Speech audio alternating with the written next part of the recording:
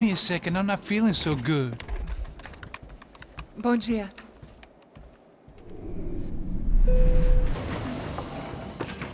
Alice estava aí? O que, que o senhor acha? Claro que sim. E o senhor bem pontual, Tudo não? bem. Ah. You fucking pair of clowns! I'm sorry, sir. We risked our lives several times over trying to save... I, I, I know. I just wish I knew what was happening and why. Yes, who has it in for our family? I mean, just because we are rich and happy, is that a good reason to hate us? I do a lot of good in this town. A lot! This is hell for me. As I told you yesterday, when I get Fabiana back, I think I will move us to Miami or Geneva. It feels like nothing good can come from living in Sao Paulo right now. I hope you're not giving up on our city, Senor Branco. Listen, we will catch the man. You have my word on that. Listen to Mr. Becker, brother. Yes, these are tough times, but we have been through it before. Like when father died. Father had a heart attack visiting a brothel. Yeah, it was humiliating, embarrassing, for sure. But now this is different. This is the end for Well, me. she's not dead. Maybe we'll be lucky and get her back safe soon. I can almost guarantee it, if you do as I ask. Maybe. Be strong, brother. For your wife. I know this has been tough on you, but things will get better. For all of us. Hmm? Marcelo, pasos in my helicopter. This way. Sure. Mr. Becker, Senhor? let us give you a ride. Bom. Até logo, Senhor Branco. And may I say, you would be best served se contratar profissionais e não esses amadores pés de chinelo. Goodbye, Mr. Baker. Até logo, Senhor Branco. Had so many plans, Max. Didn't we all? I was born into great fortune. Sometimes it feels like I have done nothing apart from being a rich man in a poor country. The men I talk to, they only see money. Now, my wife. I am not naive. She does not love me for my body. Well, despite your good fortune, you're still a decent man. Am I? I don't know. I try to be. But maybe I'm just another rich fool, just like the rest of my friends. Com licença.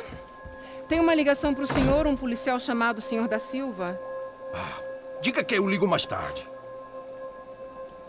Sim. Another bent cop wanting a pension contribution.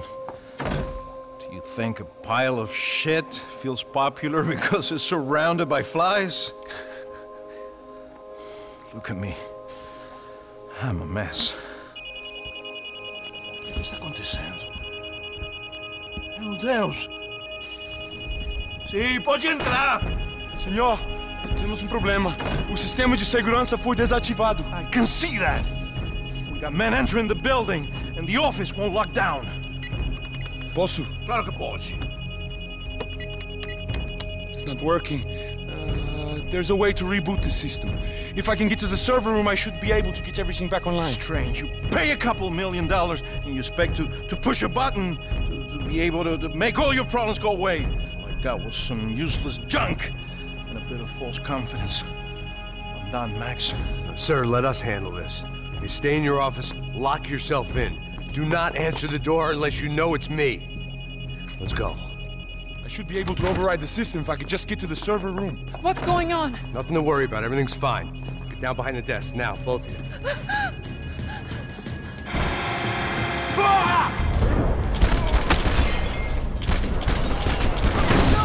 Da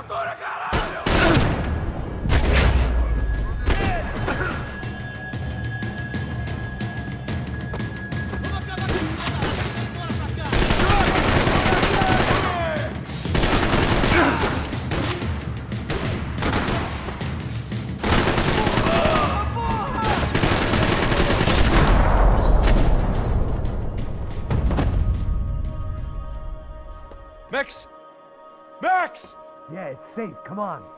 We need to get you to the server room. Let's go. Por que não posso ficar aqui com você debaixo da mesa? Let's go. Come on. Okay, I'm coming. Come on. The real security guards had been run off, paid off, or bumped off. That left us. It wasn't a fantastically comforting thought. Come over here.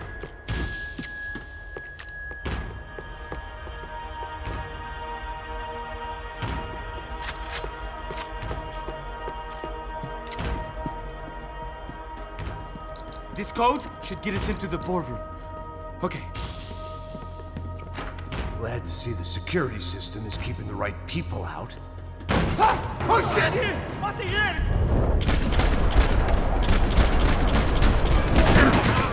É muito sério! Alguém vai pegar esse sujeito!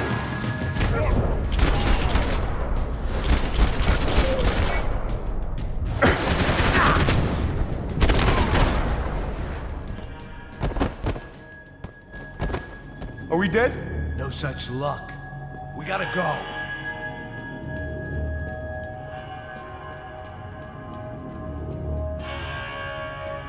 It's through here!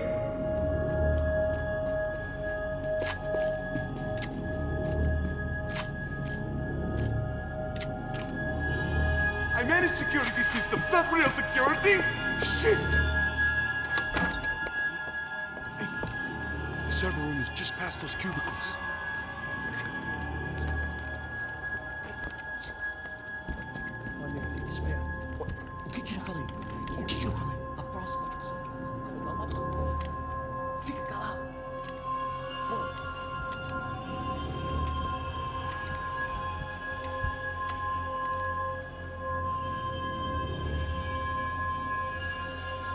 These clowns were the same guns for hire who jumped our exchange at the stadium.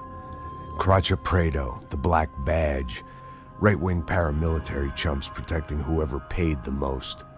I guess that made them more like me than I cared to admit. Were they just looking for another payday, or did their business with the Brancos run deeper? Eu vou por aqui, você vai por ali. Demorou! Silêncio! O próximo que falar leva bala! Acerta ele!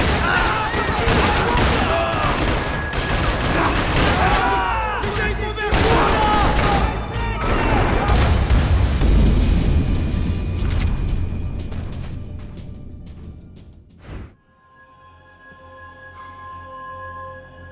Eu vou por aqui, você vai por ali. Demorou!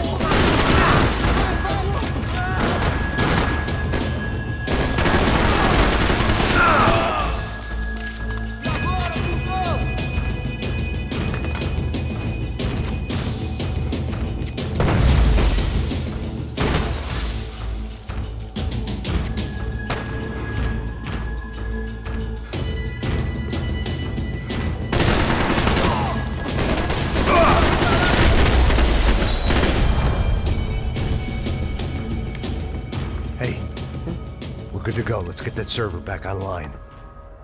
Can we just spend a few more minutes? Make sure they're all gone? Come on, don't worry. I got your back. Poor kid was scared shitless, but I thought we'd seen the worst of it. Okay. The, the server room is just down here. You're doing good. Come on. Hey? I just... I didn't think I'd have a day like this when I wake up in the mornings. Wish I could say the same thing. Fact was, I'd gotten used to protecting Branco in the big bad world. We hadn't anticipated a siege situation here, hadn't prepared for it. I couldn't tell the kid that. Something told me these guys didn't have security clearance.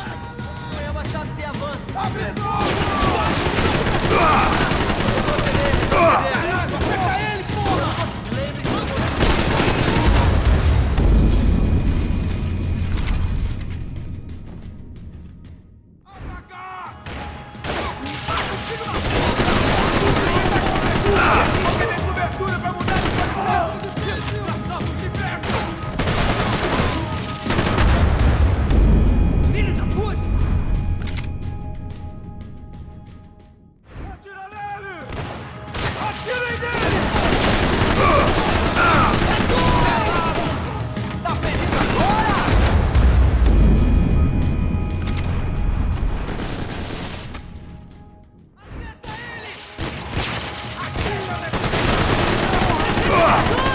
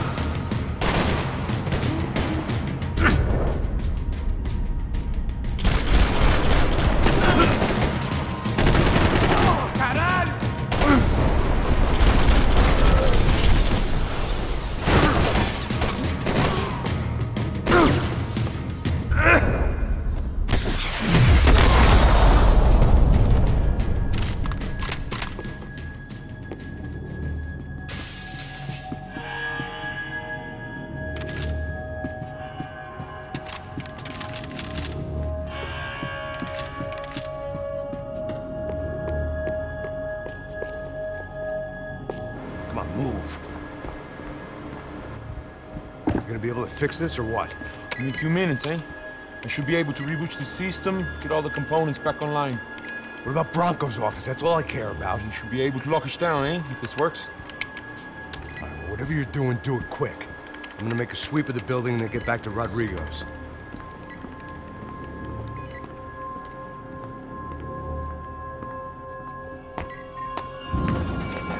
The security system was back online. Things might be a little tougher for our fan club from here on in. Seemed like breaching the perimeter had been no more difficult than strolling through the front gates. But hey, who needs a Trojan horse when the alarm is down and your standing army is a dame, a dork, and a drunk? Branco's office overlooked the atrium. I could check in and make sure he hadn't checked out.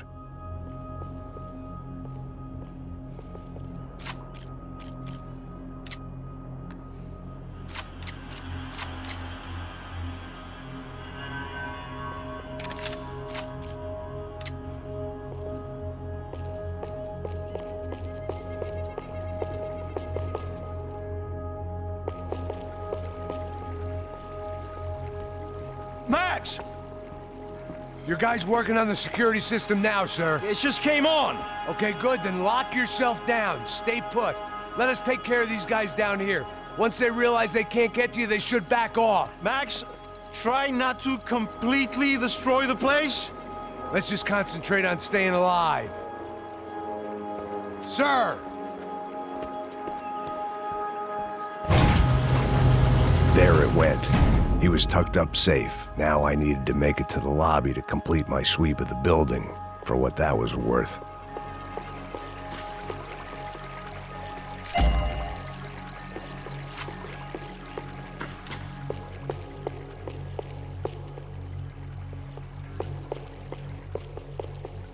The office was all metal, concrete, and glass. Clean, simple lines at the highest cost. A true modernist fantasy land. Felt like nothing could hide here, but I didn't understand a thing. Sunday at the office? No one else would need these.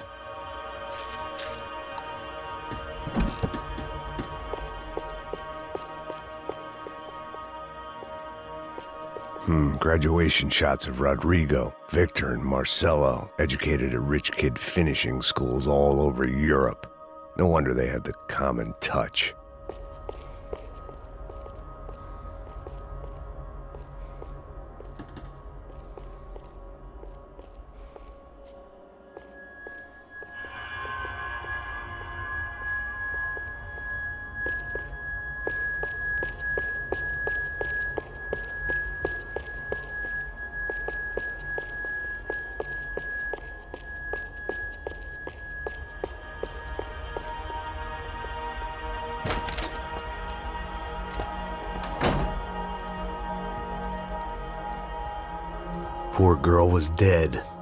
Shot through the head by some hero fighting the rich one lonely secretary at a time.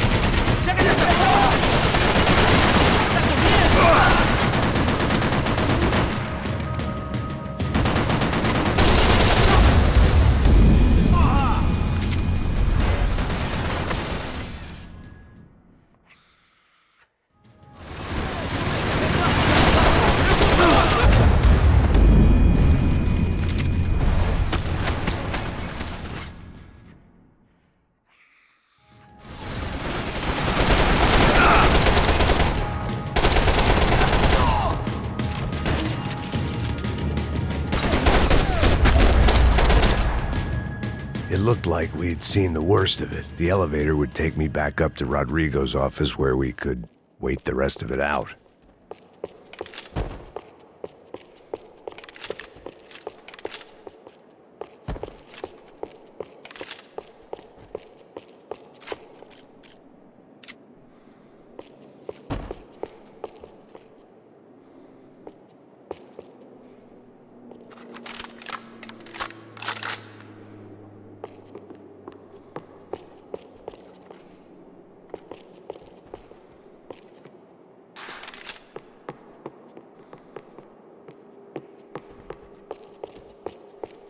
Much as I enjoyed my mall cop routine, I had to get back to the boss.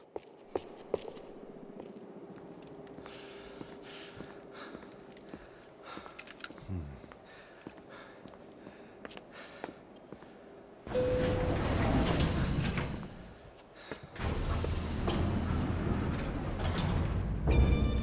I didn't know what the hell I was gonna find up there, but I sensed it wasn't gonna be a stripper bursting out of a cake. Senor Branco! I can't get through to him. Ever since the security door is triggered, he hasn't made a sound. Rodrigo, it's Max. Open up. Can you hear me? Eu já tentei. Senor Branco, open up! I'm gonna try to get in there from the roof. You find the security guard and get the hell out of here. Yes. I knew there was another way in upstairs for the helipad. The little luxury runaround that kept the rich looking down on the poor literally as well as metaphorically.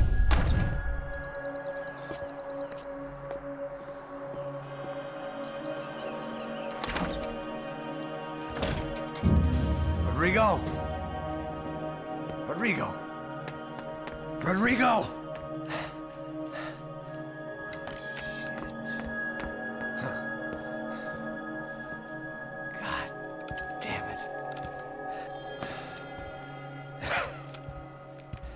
Of course, he was dead. Clean, one shot, a professional job. I began to look for clues.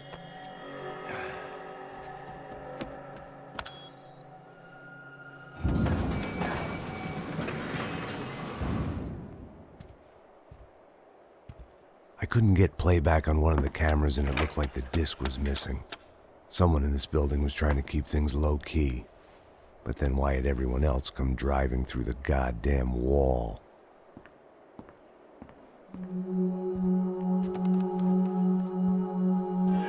Fabiana. Even if the man who employed me was dead, his wife was still out there. Maybe she could be saved. Maybe some good. Ah. Picking the photo from the broken fragments, something caught my eye. Figures.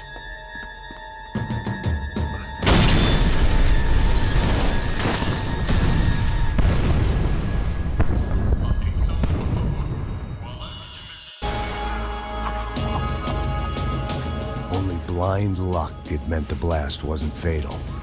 If I'd been out for any longer, the smoke would have gotten me.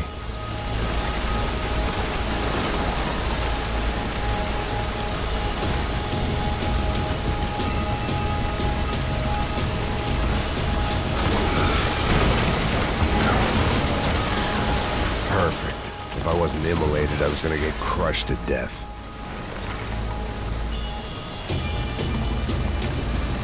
Look at me. I've been contracted to protect two people. One was being held in some hole. The other was sitting at his desk with a bullet in his head. And the company that had its logo on my paycheck was melting on top of my head.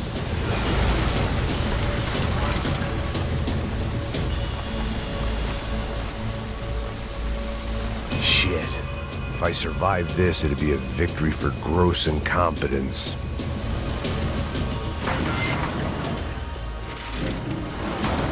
Você! Você sabe o caminho pra sair daqui? The kid hadn't made it. Fuck. I had to make this corpse-looting coward pay. Getting his gun was more than just expediency.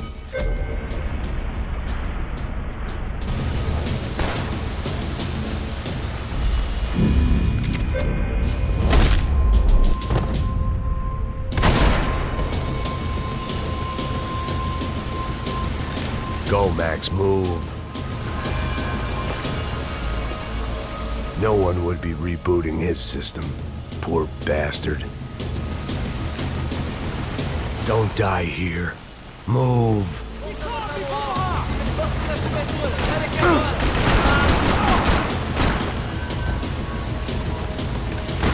Someone had ordered barbecued gringo, but I didn't have to serve it to them.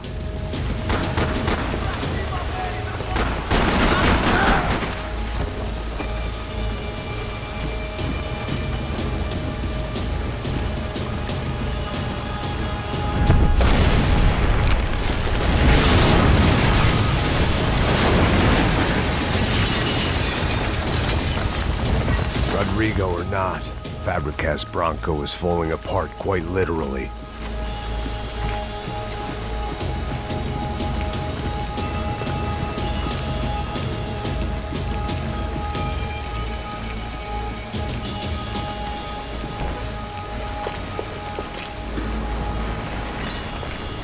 He had bullets in his gun. He should have shot himself and ended the pain.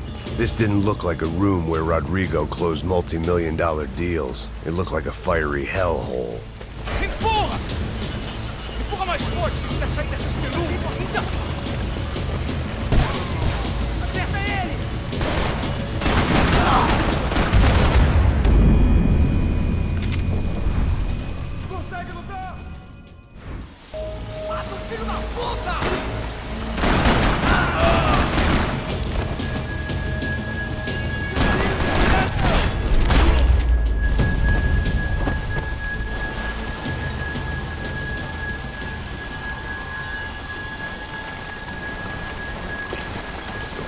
Last bunch of guys who tried to kill me might have had an idea.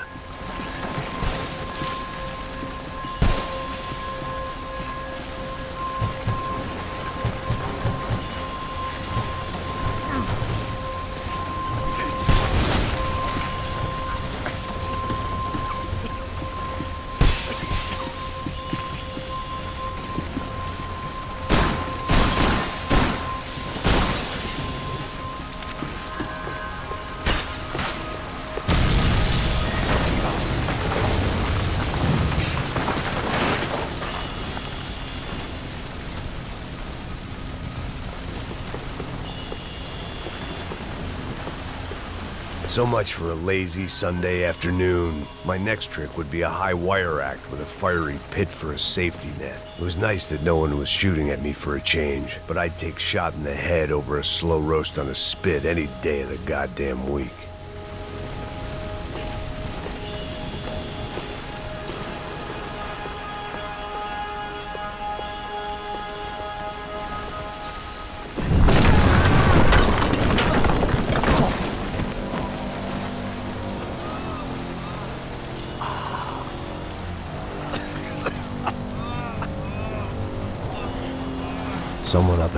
Was hurt pretty bad.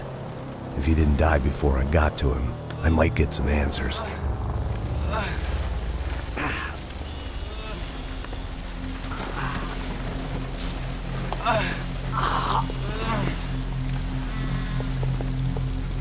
Hey!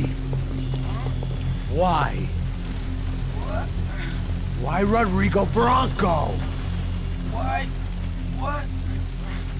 Why did you come to kill Rodrigo Branco? Came to kill you!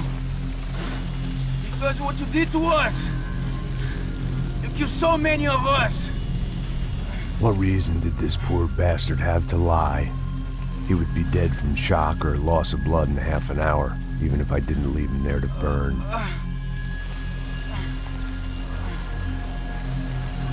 Where's Fabiana?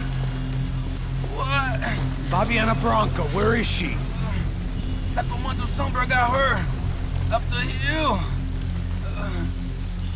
Then it was up the hill for me, I guess, where the gang held sway. I had to try to figure out who was using these angry paramilitary clowns as some kind of front to kill Rodrigo.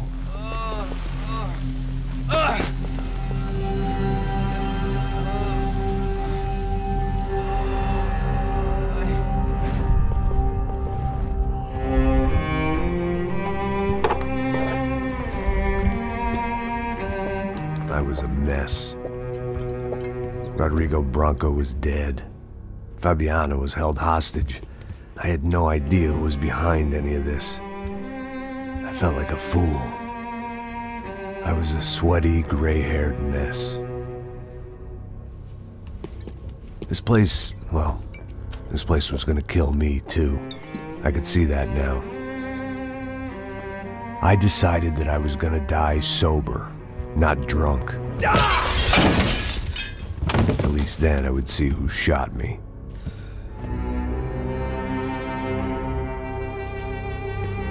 It was time to take back control from whoever was out to get me. And if I didn't flush them out, at least my midlife crisis would confuse them enough so they did something stupid. It was the only hope I had. I knew I wasn't thinking straight. Been drinking and popping painkillers for years. I had a liver like a French goose and skin like red leather.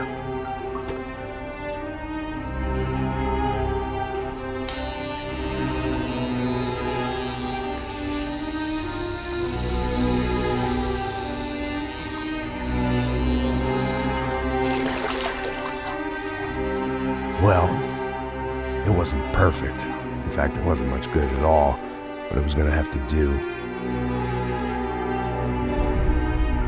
At least I was facing in the right direction.